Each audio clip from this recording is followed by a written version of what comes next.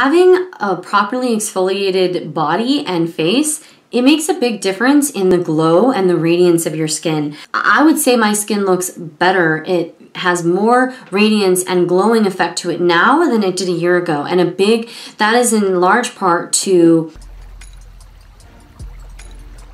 I've really taken my skincare a lot more seriously in recent years, the last year and a half, two years in particular, as I began to age and after the birth of my second child, I really began to see a decline in the condition of my skin. And as I've really put a lot more effort into the exfoliation and the cleansing and the moisturizing and other specialty treatments, I have found that it's really brought I would say my skin looks better. It has more radiance and glowing effect to it now than it did a year ago. And a big, that is in large part to properly cleansing and exfoliating. Something that I like to do after I've washed my face, if I'm not gonna be using a nighttime moisturizer, then I like to use just a basic vitamin E oil, which is always going to add a nice moisturizing effect to the skin and it's very natural and for me, with the dry skin, it, it really gets into there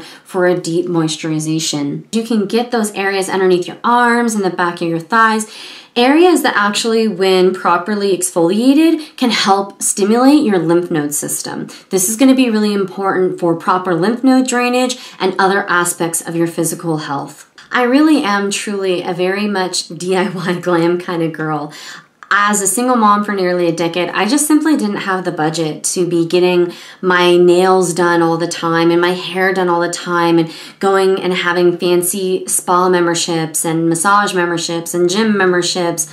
I couldn't do that stuff. And then even when I was no longer a single mom, I really wanted to be able to get out of debt and be conscientious about my money and just use my money towards other things that can better serve me and my family. So one definitely area in financially where I've saved a ton of money for me and my family is in the beauty, skincare, hair care, nail care. And I really meet so many women along my journey, clients that I work with, who skimp on their self care because of the financial aspect.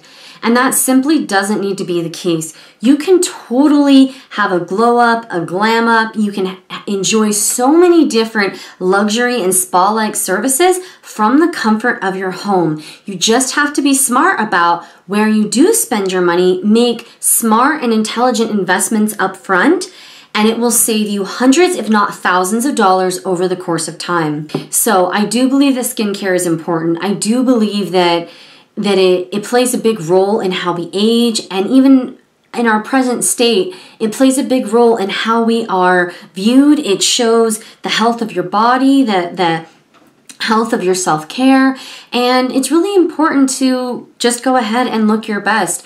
And when you're working with what you have rather than against it, and taking good care of, of every aspect of your mind, body, and soul, it will pay you off dividends for years and years to come. Make sure you guys are subscribed over on Instagram.